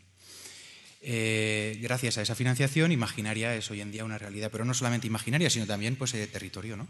Porque ese proyecto nos dio visibilidad, nos dio eh, empuje, nos dio fuerza para, pues a partir de ahí, eh, conseguir la gestión de otro festival, que es el Festival Castillo de Ainsa, para a partir de ahí dar, eh, entrar en contacto con toda la cultura popular que los titiriteros venían reivindicando desde hacía mucho tiempo, conocerla, que es el mundo del títere, y bueno, muy relacionada con el mundo del títere, y darnos cuenta de que había una oferta muy importante en los pueblos de nuestros alrededores de teatro, de teatro infantil, pero que no había ninguna oferta de cine. ¿no? Entonces montamos un proyecto propio que es Carambola, que es un cine ambulante. Es decir, a raíz de conseguir uh, un proyecto, entre comillas, propio, porque fue consensuado pues, también con, la compañía de teatro y con el ayuntamiento, eh, eh, a raíz de, conseguir levantar este, este proyecto, que desgraciadamente pues, se acabaron esas ayudas o hay un lío político, ¿no? que al final pues, nos, afectan mucho, uh, muchas veces no son lo suficientemente conscientes ¿no? las personas que a veces ¿no? dicen, no, pues esta financiación es ilegal. ¿no? Pues bueno, pues a nosotros nos afectó mucho eh, porque se cortó, se acabó. Y, bueno, pero luego tuvimos que pasamos a competir eh, con los grandes, digamos, en el INAEM y seguimos teniendo financiación del Ministerio y la cosa va bien, el Ayuntamiento pone más dinero, la Diputación también y bueno, el festival sigue funcionando. Pero como decía, pues eso fue, eh, digamos, el pie que nos permitió desarrollar una de las áreas de trabajo que tenemos en territorio. Hay otras dos. Eh, y como os digo, también nos permitió eh, pues darnos conocer una realidad que no, que no conocíamos y, y, darnos el impulso suficiente como para poder, eh, poder desarrollar otros proyectos propios. ¿Cuáles son otras vías de trabajo en las que, desarrollamos nuestro trabajo? Pues en la gestión de servicios públicos. Nosotros estamos ahora mismo gestionando dos eh, centros juveniles, bueno, un centro juvenil, el otro lo acabamos de perder, eh, un centro juvenil que es en la localidad de Monzón, que es una localidad más grande, que tiene unos 15.000 habitantes. Y luego hay otra parte, que es la que tenemos menos desarrollada, yo creo, porque todavía somos jóvenes y no se fían mucho de nosotros, y es la parte de consultoría. ¿no? ¿A qué nos dedicamos buena parte del tiempo? Pues nos dedicamos sobre todo a intentar eh, incluir en las agendas políticas de las localidades de nuestro entorno la idea de que la cultura no la hace cualquiera. ¿no? De la misma manera, lo comentaba ahora con una compañera que estaba por aquí, a, las cuatro cuando hemos llegado, ¿no? Eh, pues eh, que, que, bueno, de la misma manera que a ningún concejal de pueblo se le ocurre construir un puente cuando en su pueblo se necesita y llama a un ingeniero, pues eh, en muchos pueblos de nuestro entorno pues a los concejales sí se les ocurre hacer gestión cultural eh, sin tener ni idea. ¿no? Entonces, claro, yo no digo que nosotros lo hagamos mejor, pero sí que podemos aportar algo. ¿no? Yo creo que es importante que esa idea cale porque, porque en la medida de que, eso, de que, de que esa idea pues, se, se, vaya incluyendo en las agendas políticas, pues eh, nuestra pervivencia eh, bueno, está, está en juego, pero también la manera en la que se hace la cultura, la manera en la que la cultura se lleva a los pueblos. Eh, sobre las vías de futuro, que nos contáis también ¿no? por escrito que, hacia dónde creíamos que íbamos, pues, pues, bueno, yo hay un dato muy importante que creo que, es, que vale la pena reseñar. Yo participé en, un, en una encuesta, que, en la elaboración, vamos, de una encuesta y, del estudio posterior, no demasiado científico, debo decir, pero con unos resultados muy sorprendentes que uh, tenía por título Encuesta de hábitos culturales en la comarca del Somontano, que es una comarca al lado de la nuestra que muchos a lo mejor conoceréis por el vino y tal, ¿no?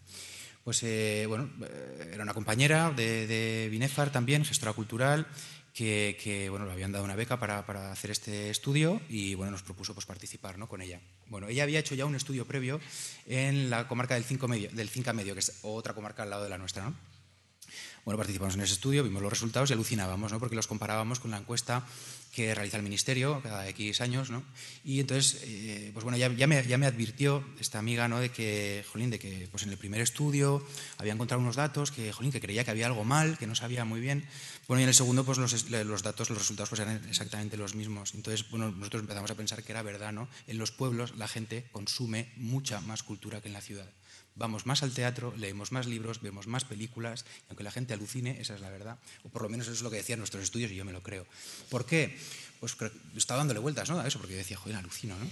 Hay mucha menos oferta, sí, pero tenemos las fiestas, tenemos eh, pues las bibliotecas que hacen una labor importante, por lo menos en nuestra zona, y tenemos equipamientos porque, eh, pues bueno, se ha hecho desde el inicio de la democracia pues mucho trabajo, ¿no? O sea, en los pueblos pequeños hay pues como digo, bibliotecas, equipamientos, etcétera, que alguien aquí ha dicho hoy, ¿no? Que, había que empezar a pensar menos en, en, edificios y más en personas. Yo creo que eso es una gran verdad.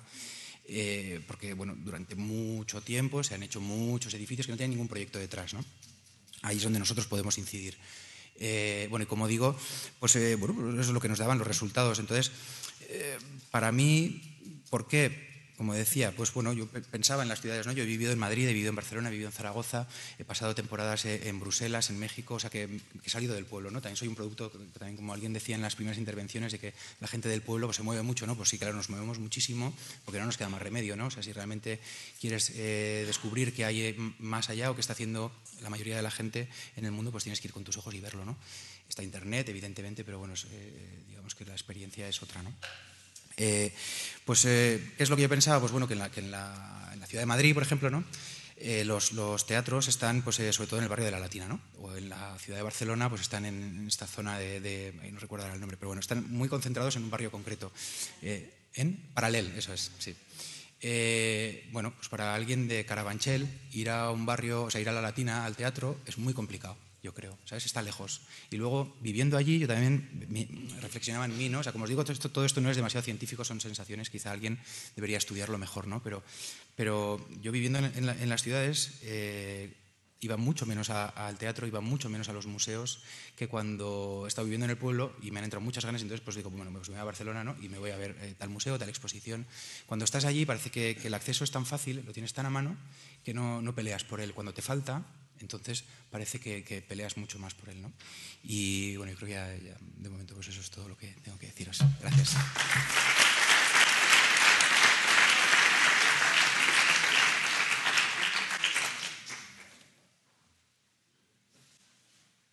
Sí, eh, bueno, pues nada, abrimos la, ronda de, participación por parte de todos, ¿no? Eh, eh, buenas tardes a todos. lo primero, decir gracias, Alfredo, porque esta realidad es fruto de tu filosofía, mm, la cual, bueno, pues podemos decir todos, yo creo, los que te conocemos, que, que es así porque, bueno, pues tú lo has creado. Y gracias al Ministerio, evidentemente, por traer aquí esta, esta realidad, eh, este foro. Y bueno, pues me ha encantado la, mesa que tenemos actualmente, también las anteriores, evidentemente, pero eh, bueno, curiosamente conformáis un quinteto espectacular, vamos. Eh, yo soy de aquí, de esta provincia, llevo 30 años dedicado a, a desarrollo rural y bueno, pues mi profesión es docente, eh, a punto de dejar la docencia ya porque bueno, me interesan mucho más las cosas que todavía no he hecho en la vida. Y eh, decir que mm, efectivamente, eh, tantos años dedicado al desarrollo y al medio rural, sin cultura es imposible, sin cultura está claro. no podemos hablar de desarrollo rural si la cultura no, es el, eh, hilo conductor. Eh, lo podemos ratificar desde bueno, pues un lugar de tierra de campos eh, y bueno, pues creo que el nombre es bien universal. Tierra de campos de estas cinco está repartido en cinco provincias y que es una zona que lleva pues más o menos cinco siglos en declive. si no y lo ratifico, si no hay eh, esa impronta y esa preocupación por la cultura de base, por la cultura que eh, está eh, adherida al territorio, y la cultura son los árboles, en nuestra zona es la estepa cerealista, bueno, regada con, con elementos venidos de la imaginación y de la, y de la filosofía que aquí se maneja, pues creo que muchos pueblos, muchos más ya habrían cerrado. Mm, el problema es que eh, yo no participo de esa idea de que eh, los, los, ciudadanos van y vienen y que, que bueno, todo es igual. De, momento, lo urbano nos lleva, nos ha sacado una ventaja terrible, aunque eh, yo también participo de la idea de la complementariedad, evidentemente, pero mm, bueno, pues el sistema y las políticas públicas, y bueno, pues yo también formo parte de lo público, nos llevan a otro sitio, a otro sitio y es el abandono del mundo rural y concentración en las grandes ciudades. Eso es un problema, un problema que está vaciando el mundo, rural. De lo que habéis hablado, los cinco, yo creo que tiene que ver efectivamente con esa realidad. Y si no rompemos moldes, mm, creo que vamos a conseguir poco. Esto, esto es un ejemplo donde estamos, es un ejemplo de ruptura, pero evidentemente aquí no participa ninguna administración y es una fundación privada. Las administraciones evidentemente participan en la medida de granitos muy pequeños de arena. Eh, bueno, pues dejo ahí esa reflexión y yo creo que vamos a tener tiempo de hablar de esto y de mucho más. Muchas gracias. Me parece una reflexión interesante, ¿no? Que desde una institución privada, pues se planteen las cosas de otra manera, ¿no? O sea que, bueno, también... Pero bueno, al final es sociedad civil, ¿no? Y es, la gente, digamos, con la que compartimos también pensamiento y, la vida, ¿no? Eh, ¿Alguna intervención más? Sí, yo quería plantear una más y aprovechando que estáis hoy aquí y que nos habéis dirigido la pregunta un poco hacia nosotros, ¿no? hacia cómo se puede trabajar entre todos por el medio rural, me gustaría involucrar también al Ministerio de manera un poco directa. Yo creo que una de las claves es encontrar vías en este país para que eh, espacios públicos y espacios privados sean capaces de trabajar juntos y de generar eh, sinergias, que es una palabra muy, muy manida, ¿no? y equilibrios que sean saludables. Me gustaría preguntaros muy directamente si veis viable en algún momento que este país tenga una ley de fundaciones eh, adecuada al siglo XXI os digo porque hay un caso muy concreto y podemos ponernos ahí eh, en, la experiencia de, cada día a día. Nosotros optamos por un proyecto en el que el acceso a todos nuestros programas es eh, gratuito y eso eh, nos condena en la ley de fundaciones, y quizás esto no es, no sabido, no voy a introducir un dato muy técnico, a que el 21% de nuestro presupuesto quede condenado lo mismo en la compra de un bolígrafo que en el contrato de una persona que venga a hacer una actividad eh, cultural o a participar eh, en un programa. Me gustaría saber qué medidas desde el Ministerio estáis valorando a futuro, si esto forma parte de las agendas, si ni siquiera está presente en las conversaciones, si llegará.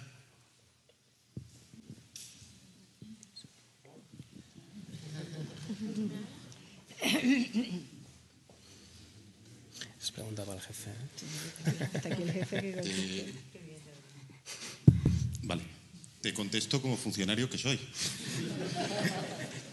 La voluntad política del legislador la desconozco. Eh, como funcionario que soy, sí he visto por mis manos proyectos de cambio de la ley de fundaciones. También tienes que tener en cuenta que fundaciones hay ley estatal y ley autonómica, con lo cual hay diversos ámbitos competenciales. No es por escurrir el bulto, pero es que nos hemos montado así este país. Así, tal cual. Entonces, partiendo de esa premisa, eh, intentos de cambio de la ley de fundaciones hay tema de lo que deba revertir, eh, o el tema de lo que deba provisionarse, lo que deba hacerse con la dotación de la fundación. Yo creo que la dotación es una garantía para que se entienda lo que es la fundación. La fundación es un patrimonio destinado a un fin, no algo que hace alguien para tener beneficios fiscales, que ese es un error de concepto, intencionado o no intencionado. Desde esa perspectiva, yo creo que sí ha habido intentos eh, yo creo personalmente, y como funcionario digo, que no tenemos una legislatura para aprobar muchas leyes, y lo tenido legislaturas en que salía la ley 59, no sé cuántos, del año no sé cuántos, y esta tendremos una legislatura que saldrá la ley 4 o 5 barra 17, como muchos, muchos. ¿Que puede haber voluntad política en el futuro? Sí, porque yo he manejado textos de cambio de la ley de fundaciones, la estatal, existe, la estatal, las autonómicas no lo sé que en el ámbito autonómico se pueda promover. Hay modelos de leyes de fundaciones autonómicas muy buenos. conozco leyes de fundaciones autonómicas muy buenos y que incluso superan a la estatal. Pero bueno, todo es un, tema de ponerlo, como se dice, en agenda política y de trabajarlo con el legislativo, sin ninguna duda. Y yo creo que el cauce es quejarse ante un ministerio para que ese ministerio lo eleve al legislativo. Muchas gracias. Sí, aquí Lucas bueno, solamente una cosa que comentabais de, la colaboración público-privada y tal, que me he olvidado de, comentarlo. En, las vías de, hacia futuro. ¿no? Yo creo que en el medio rural es muy importante, por lo menos nosotros estamos viendo que eso es, eh, digamos, es muy bueno para nuestra supervivencia y para los proyectos culturales del medio rural, que, que, las empresas o que los agentes culturales, que sea una asociación, al final da igual porque bueno, nosotros en seis años jamás hemos repartido dividendos ni creo que lo hagamos, ¿no? somos bastante pobres.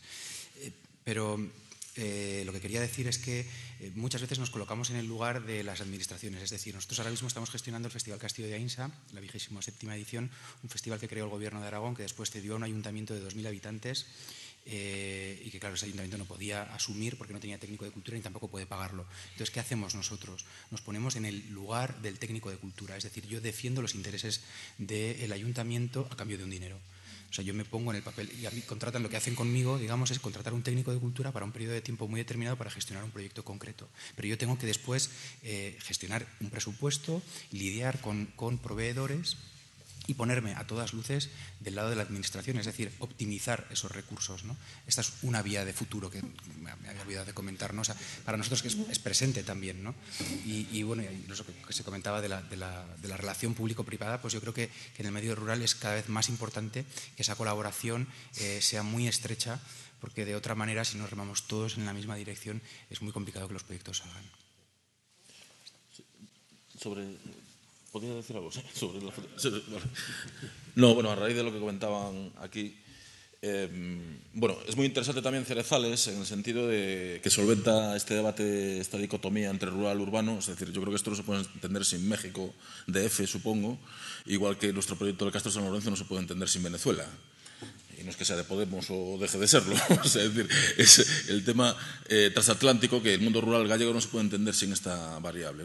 Entonces, eh, la dicotomía entre Euskadi y Galicia que quería mostrar aquí es que en Galicia, ante la falta total de apoyos de la Administración, eh, nuestro proyecto se puede llevar a cabo precisamente por el mecenazgo particular precisamente de, un indiano, José Luis Lagoa. O sea, decir, José Lagoa y, su, y, perdón, y, sus estas moscas cojoneras. sí, sí. Em, nosotros también lo somos. ¿no? Eh, José Slagoa y, Graciela, que recuerda mucho a, Antonino y, Cinia. ¿no? Es decir, que estamos en el, mismo, en el mismo. De hecho, yo estoy aquí porque para nosotros el modelo de referencia de, fundación es, es esta. ¿no? Entonces, claro, o sea, se está cubriendo el vacío que deja conscientemente, por lo menos en nuestro caso, las administraciones. Esto tiene sus ventajas. Eh, la independencia económica te da independencia política también, ¿no? y independencia a todos los niveles. ¿no? Entonces, bueno, yo no sé si habrá una nueva ley de fundaciones o la dejará de haber, pero bueno, las comunidades locales también se buscan sus líneas de fuga ¿no? para llevar a cabo sus, proyectos. ¿no?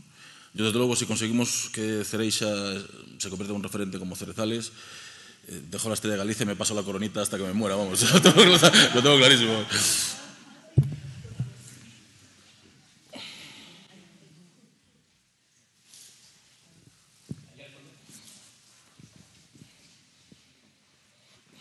Hola, buenas tardes. Bueno, daros la enhorabuena a la Fundación y, y al Ministerio por, el encuentro. Yo soy Ángel, vengo de Cantabria, que soy de Bilbao, soy urbanita de herencia y trabajo en el mundo rural desde los años 90. Eh, y quiero polémica, ¿no? Esta está muy bien, por ejemplo, está la Fundación con el Ministerio, pero hay que aprovechar. Pero hay, un, hay varias, varios temas. Eh, pero como no hay tiempo, ya seguro que mañana debatimos más. Solo uno, turismo. Eh, turismo, yo creo que si os he escuchado las tres mesas bien, hoy eh, turismo se ha hablado mm, no positivamente, ¿no? Eh, que no se ha hablado, de hecho, pero bueno, se le ha mencionado en unos contextos negativos. Nosotros trabajamos ahora en un, en un proyecto territorio, nosotros trabajamos en dos comunidades autónomas, montaña oriental costera, Cantabria, encartaciones vizcaínas. Y trabajamos territorio y trabajamos con personas, que yo creo que es lo fundamental que, se ha derivado aquí de la definición de cultura para, para nosotros y, creo que para la mayoría de los que estamos aquí. Entonces, comento, quería saber la opinión de la, de la mesa, de los ponentes que estáis ahora en relación a turismo. Eh, nosotros trabajamos con, con territorio, empezamos a trabajar con las personas, enseñándoles su patrimonio o sea, ellos a nosotros, perdón, su patrimonio natural, y no sé si ha sido antes que hablamos patrimonio natural, patrimonio cultural, efectivamente. Ahí hay un paisaje cultural, pero bueno, sin entrar en, definición de los términos, eh, fueron ellos los que nosotros trabajamos, somos arqueólogos, trabajamos en territorio, en yacimientos arqueológicos, y fueron ellos los que nos enseñaron su patrimonio. Nosotros les enseñamos otras cosas y complementamos. Y ahí, vimos la primera, la identificación eh, rural-urbano, periferia-centro, que no hay, no hay ni desconexión ni es, es bipolar, somos uno. ¿no? Eh, bueno, a lo que iba, realmente nosotros nos dimos cuenta que hay mucha gente, que estoy de acuerdo con la definición de cultura que acabas de dar, de, de comunicar y, transmitir de un humano a otro. ¿no? Eh, mucha gente de fuera de, de la zona de, de Cantabria-Euskadi que venía a, muchos españoles y muchos franceses e ingleses sobre todo, que venían a vivir y tener contacto con las personas de lo local. Eh, los franceses o los ingleses les importaba tres si el ganadero, el artesano o el chef hablaban inglés o francés, solo querían tener ese contacto y vivir eh, la identidad, otras identidades diferentes que les complementen. Eh, entonces la pregunta es, nosotros creemos que hay un eh, turismo cultural que no es el turismo que identificamos en, tradicionalmente, ni en los medios, ni lo que rápidamente nos vimos por turismo, sino que hay un turismo cultural real desde, desde, lo rural, sobre todo. Eh, y que eso sí que necesita, digamos, un facilitador que cree producto eh, turístico que, que, que, llegue fuera y pueda tener un, un retorno de, que luche contra la despoblación del mundo rural. Entonces, bueno, vuestra opinión sobre, sobre este tema.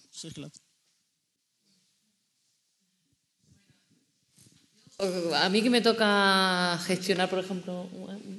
Ay, perdón. No, no, no, no, ah, Sí, pero que... ¿Se abrevero? Eh, la verdad es que al final parece que cuando gestionas eh, cultura y presupuesto de cultura eres como, decía un amigo, ¿no? la tía soltera del turismo, porque al final no, que esto esté preparado para, para el turismo, ¿no? Entonces, pero ¿cuál es, cuál ¿para qué estamos aquí, no? Eh, estamos, eh, yo creo que para asentar a la gente, estábamos hablando hoy mucho de asentar a la gente en el territorio, o estamos en algunos casos, y yo creo que hay experiencias muy concretas de que están, estamos favoreciendo con, en una recuperación del patrimonio que termina eh, creando em, eh, ciudades fantasmas o, barrios fantasmas que, al final la gente sale huyendo de esos espacios porque sí, efectivamente hay profesionales que lo enseñan, que lo explican, pero solo están habitados en las horas que hay turismo. ¿no? a, qué, ¿De qué estamos hablando? Ese es el peligro realmente de ese turismo que en, ocasiones no es sostenible. Yo creo que el recelo viene por ahí y creo que hacemos una sin entrar en, guerra con eso, ¿no? Creo que, tenemos que planificarlo bien y hacer eh, esa estrategia de, turismo sostenible también ligado al patrimonio, pero creo que esa reticencia que mostramos es que sentimos, ¿no? de los que nos toca gestionar la, cultura, es que a veces se utiliza los recursos de cultura simplemente enfocados a ponerlos en valor como recursos turísticos y creo que a lo largo de toda la tarde hemos estado hablando de otra cosa. Sí, hay. Ahí creo que hablaba también. El turismo genera dinero, entonces genera renta, es verdad que luego es muy cómodo hablar, ¿no? Claro, y decir, no, al turismo, claro, yo quiero trabajar en mi pueblo, entonces también quiero trabajar a lo mejor en un bar, ¿no? Entonces, bueno, eso lo tengamos claro, ¿no? Que eso no, no, no va a haber una crítica ahí, digamos, pero yo leía, mm, Holloway hablaba de una distopía en la que Europa se iba a convertir como una un Disneylandia, toda Europa en sí, ¿no? Y París, y todos los pueblos, y todo, todo. Y entonces iban a venir los chinos, ¿no? A ver aquí este turismo, porque como éramos la cuna de la democracia, la cuna de la sabiduría, etcétera, ¿no? Y se iba a convertir en eso, ¿no? A mí lo que me da rabia muchas veces de cuando se, hace, ¿no? Como esa unión entre cultura y turismo, era lo que también señalabas, ¿no? Quiero decir, ¿no? Como una forma de escaparate, ¿no? Y yo creo que lo que señalamos también de la importancia de la cultura, como de alguna manera ha de revertir también ciertos procesos que se dan, ciertas asimetrías de poder, etcétera, ¿no? Claro, si solo entendemos la cultura como esa escaparate, como esa fachada, y no buscamos más allá, nos rascamos, ¿no? Es como cuando esta arte, ¿no? Que la ves y dices, ay, qué mona, ¿no? ¿No? Cuando ves arte, ¿no? cultura y, esto te genera, te, te, hace pensar, te cuestiona, te replantea, ¿no? porque tiene muchas capas. ¿no? Entonces yo creo que ahí es donde está lo interesante. ¿no? Y entonces a mí solo esa visión ¿no? única ¿no? de, de, ese escaparate en el que parece que no hay conflicto ninguno y que detrás no hay nada, ¿no? es lo que a mí más miedo me da. ¿no? Ahora, es verdad que el turismo... Joder, pues es que al final, claro, que genera renta y tenemos que vivir y trabajar, ¿no? Que es muy cómodo también, a veces en estas posiciones generar un discurso, ¿no? Pero claro, luego también queremos vivir y tener un bar. O sea que, ¿no? Pero bueno, creo que el problema viene más en ese abuso, ¿no? De... Eh, sí, bueno, evidentemente yo estoy a favor del turismo cultural. El problema es que prima un modelo totalmente dirigista, del turismo de arriba abajo.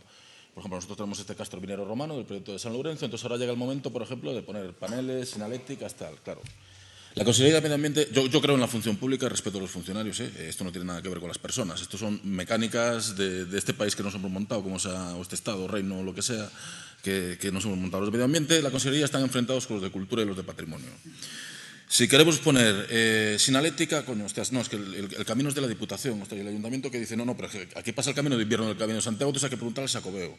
Después tienes el Patronato de Turismo de la Ribera Sacra, un consorcio de turismo de la Junta de Galicia, eh, cuatro o cinco entidades más para poner una señal, ¿no? Y después el problema es el corporativismo y el gremialismo. Es decir, nuestro proyecto surge de la Asociación de Vecinos y esa gente de allí, los vecinos son los que tienen que maximizar el recurso que tienen, tanto patrimonial como el Camino de Santiago, ¿no? Y el problema es que va a ser imposible. ¿Por qué? Porque va a venir la Asociación de Guías de Galicia montando un Cristo que un vecino no puede explicar una, su castro, joder, para eso estamos nosotros. El gremio de arqueólogos, de, ¿qué es esto de llevar a los vecinos a, a, ayudar a excavar aquí en su castro? Este es, el, este es el problema real, ¿no? Por eso yo en este sentido se comentaba antes, aquí lo revolucionario es acariciarse y cuidarse unos de otros. Es decir, yo cada vez apuesto más por la autogestión de estas comunidades que lo llevan haciendo toda la vida, gestionando montes, gestionando el bien común. Lo que pasa es que son marginadas por todo este aparato burocrático en que se ha convertido el Estado. ¿no? Este es mi modo de, verlo. ¿no? Bueno, yo creo que tenemos tiempo una intervención, pero tiene que ser muy breve, ¿eh? porque a las nueve y media tenemos que estar en el MUSAC. Muy breve, por favor.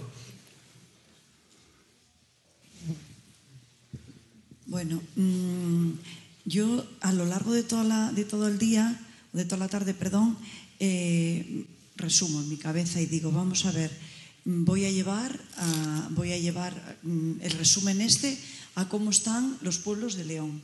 Tú vas desde aquí hasta Potes, por ejemplo, hasta el último pueblo de León, y vas pasando uno a uno, uno a uno, y no hay absolutamente nadie.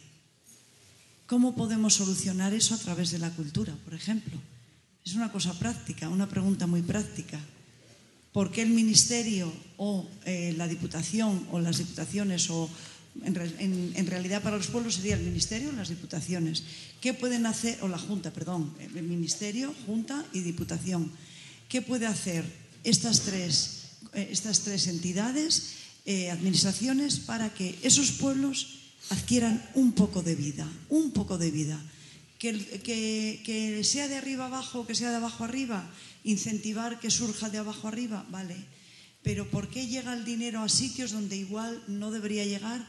¿O mmm, por qué está ocurriendo esto? ¿Por qué pasas por pueblos que no hay absolutamente nadie desde enero hasta julio y después desde principios de septiembre hasta enero otra vez, hasta eh, julio otra vez.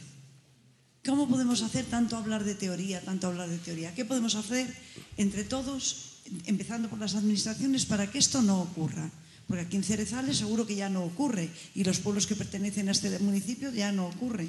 Pero en todos los pueblos, empezando por los de la montaña a la que yo pertenezco, mmm, están muertos. Entonces, ¿desde dónde se puede ayudar? Gracias. Yo no conozco estas zonas, estoy aquí. Pero, pero creo que más o menos sí que entiendo por dónde vas. O sea, el pueblo donde nació mi madre creo que ahora viven cinco personas. Eh, Villafar es mucho más grande, pero el pueblo donde nació mi madre es Montoro de Mezquita, que está en el Maestrazgo, y por ahí alguno de Teruel. Y, y, bueno, pues vive muy poca gente, ¿no? ¿Qué es lo que se puede hacer? O sea, ¿por qué están vacíos? ¿no? Te preguntas, te preguntas, ¿por qué están vacíos? Pues porque se acabó un modo de vida, ya está, ¿no? O sea, hay un modo de vida que se terminó. O sea, hay una, una, una manera de subsistir que se ha acabado. Y ya está. O sea, eh, en concreto, la zona que yo conozco, que es la zona donde nació mi madre, eh, ¿por qué se acabó un modo de vida? Porque las comunicaciones eran muy malas, la agricultura eh, se, se, practicaba en, en, montaña, con lo cual no podían entrar máquinas, tenía que hacer todo con animales. Eh, bueno, llegó un momento en, en que la, la, vida ahí era muy complicada y mi abuelo decidió marcharse. ¿Por qué? Porque tenía dos hijas y decía pues, que con dos hijas allí pues, se iban a morir de hambre sus hijas y no iban a encontrar marido.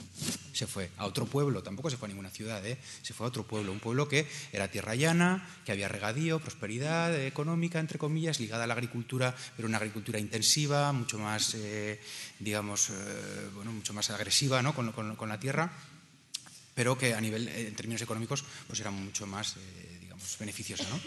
¿Qué se puede hacer? ¿Qué entiendo yo que se puede hacer? Por un lado, me parece que yo tampoco soy un gran experto en este tema, pero toda la financiación que ha llegado de Europa a través de los fondos LIDER y tal, si no me equivoco, se gestionaba a través del Departamento de Agricultura, ¿no? o sea, de, digamos, el Ministerio de Agricultura, la mayoría. Entonces, ¿por qué no esos fondos Eh, entonces, bueno, para, qué se han estado utilizando muchos de esos fondos? ¿no? Pues en mi zona, que estuve una vez analizando quién estaba, digamos, eh, recibiendo esas ayudas, eh, pues bueno, se había financiado un colegio, estaba muy bien, ¿no? Un colegio, pues genial, ¿no? Pero también se había financiado una peluquería, se había financiado un bar, se había financiado, bueno, pues pequeños negocios, pequeños locales, ¿no? Y también mucho que tenía que ver con la agricultura, que iba aparte de la PAC, ¿no? Inversiones, etcétera. Bueno, porque si, si hay un modo de vida que, vemos que se está terminando o que, o que, digamos, del que ya no pueden vivir tantas personas, ¿por qué no empezamos a invertir ese dinero en otros modelos de negocio, ¿no? en otras formas, de, que quizás ligadas al turismo o no, o, quizás ligadas a pues, eh, creación de proyectos culturales como eh, pues, hay muchos ejemplos ¿no? de, residencias artísticas, ¿no? por ejemplo, por poner un ejemplo, o los mismos titiriteros con quien trabajamos mucho, como comentaba, pues tienen un teatro y han creado un teatro y una residencia en un pueblo del Prepirineo. ¿no? Eh, bueno, hay muchas maneras y, bueno, por terminar, ser muy breve, se podría porque en Francia fue así durante un tiempo, si no me equivoco, unir o, llegar a acuerdos desde el Ministerio de Agricultura y el Ministerio de Cultura. Es decir, que la agricultura que, se ha ocupado de los pueblos eh, tuviera también relación con la cultura y que hubiera trasvases de, dinero ¿no? y que hubiera financiación, más financiación directa, porque eso resultó ser ilegal, ¿no? parece ser, financiación directa desde eh, la Administración Central a los municipios que quisieran poner en marcha eh, proyectos culturales. Esa sería una manera de que a través de la cultura al final hace falta dinero y para que la gente viva en los pueblos hace falta eh, poderse ganar la vida porque todos queremos tener familias y, pues bueno, y, vivir en el mundo que nos rodea y para eso hace falta dinero. ¿no? Pues poner dinero es la solución, o sea, no hay más. Yo a veces también... También digo, ¿para qué, vale lo que hago? Digo yo, ¿para, qué sirve? ¿No? Un poco lo que, los, trabajos que hago. No, no, que me lo pregunto yo también muchas veces. ¿eh? ¿De qué manera puede tener una incidencia también en el territorio responder a estas realidades? ¿no? Entonces, bueno, yo a veces me justifico, ¿no? Y un poco, ¿no? Para, claro, no flagelarnos, porque es verdad que no vamos a cambiar ¿no? el mundo, ¿no? Y, no depende de, ¿no? A lo mejor que con pequeñas acciones, ¿no? Bueno, una, primero, facilitar pequeñas fracturas, ¿no? En ciertos discursos, ¿no? Y creo que también es importante, una, romper con ciertos imaginarios que se generan ¿no? también en torno al medio rural, porque muchas veces hay empleos y hay gente que no quiere vivir en el medio rural porque entiende que eso es de, no, no vas a ligar, seguramente ¿no? es un trabajo que, con el que ligues, yo, por ejemplo. ¿no? Entonces, quiere decir, hay que cambiar esos discursos y hay que cambiar también esos imaginarios que se generan. ¿no? Y yo creo que esa es la capacidad que puede tener la cultura también ahí, ¿no? de incidencia. ¿no?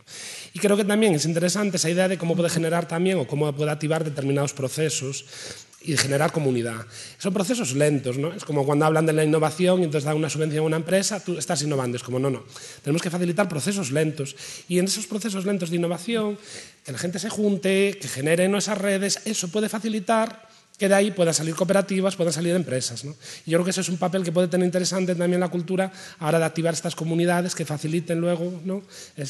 por ejemplo, esas economías circulares que también se pueden activar desde la propia cultura. Ahora, claro, es verdad que necesitas una dotación económica.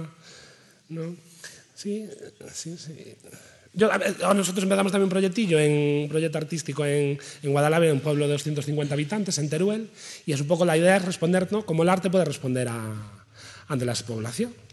Y yo digo, a veces, claro, no caigamos en esa cuestión como utilitarista, ¿no? de que el arte, claro, no somos ingenieros, ¿no? y ni, ni esa cuestión utilitarista, porque si no caemos también en un sistema ¿no? como perverso también del sistema capitalista, ¿no? Quiere decir, claro, ¿qué, respuestas vamos a dar? Pues los que la propia comunidad quiera. Nosotros que podemos lanzar preguntas, ¿no? Cuestionar. Ahora la... ¿no? Digo yo, no sé. Que, porque tenemos una cita en el MUSAC y hemos quedado con una persona que nos va, que nos va a hacer una visita guiada. Por lo tanto, eh, debe ser un minuto, no más. Solo un comentario muy breve a lo que se ponía sobre la mesa, que es, en este caso voy a romper una lanza en favor de Ministerio, Junta, Diputación, Ayuntamientos. Yo no creo que la pregunta sobre qué podemos hacer para que los pueblos no se cierren pase directamente por ellos yo eh, en mi casa recuerdo de pequeño en León, viviendo en León, que se me decía, a ver hijo, si tienes suerte y te puedes quedar en León. Hablábamos de León, no de medio rural. Hoy escucho a los padres decirle a los hijos, hijo, acaba rápido aquí, a ver si te puedes marchar a la ciudad. El INE creo que lleva publicando estadísticas. Esta es una lucha reñida que tenemos en Castilla y León entre varias de las provincias. A ver quién pierde más población más rápido. La perspectiva aquí es eh, que en 15 años eh, me parece que se pierda otro 10% de población. Eso ya no es algo que afecte directamente al pueblo rural. eh, al medio rural, sino que afecta a las capitales de ciudades. Y cuando tú pasas de 150 a 130, a 120, a 110, a 100, llega un umbral en el que todos esos discursos que conocemos de si es rentable o no rentable vivir en un sitio, ya directamente pasan a los imaginarios. Ya directamente eh, lo que tenemos que hacer antes de preguntarnos al Ministerio es si somos capaces, y ahí sí es donde la cultura tiene una misión transformadora que por lo menos en, lo que esta institución intenta poner sobre la mesa y poner en juego trata de estar presente, que es eh, tienes que aprender a conocer y a encontrar el valor y el futuro del lugar donde estás y con lo que trabajas y de quién es tu vecindario. Porque si tu único mensaje en la vida es vete de ahí, da igual que venga el ministerio, la Junta, la Diputación, el Sum Sum Corda y quien sea que te vas a ir. Bueno, pues yo creo que aquí con esto hemos terminado. ¿eh? Mañana seguiremos. Estar atentos a los horarios del transfer mañana por la mañana, que creo que es a las ocho y media. Y bueno, pues nada, nos vemos en, en el Musac y en la cena.